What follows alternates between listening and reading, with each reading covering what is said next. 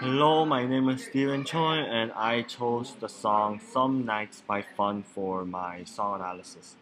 I chose this pop song, I guess. I, I researched about it, and it looks like it is a indie pop song, or yeah, so I just call it pop song. So yeah, and it was released in 2012, and it was on the Billboard top song list for quite some time, and that's how I got to know the song. I chose this song because it had a very deep meaning about war, and it was regarding the military, which I plan to join in the future. The speaker of this song is obviously the main vocal from the band Fun, and he talks about this song because to show that war can change people and how people experience wars. And the occasion of the song is obviously in the wars that have been fought, in the past. And he is telling it to everyone, but specifically war veterans that like how war is experienced and that how we know that you guys feel.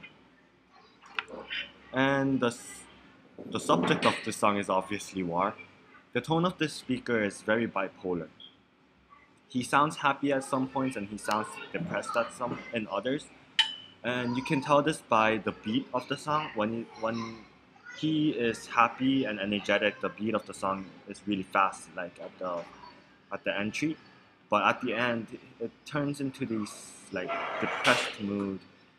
And the, the beat is like very slow. And that's like basically how the tone is the song uses a lot of similes in its lyrics because they try to relate to everyone, everyday objects to the war, which no one has really experienced except for the veterans. So, like, it's used similes so that people can relate to war easier.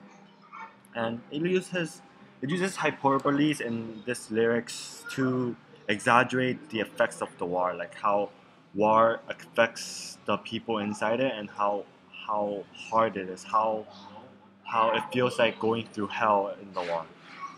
Also, personifications.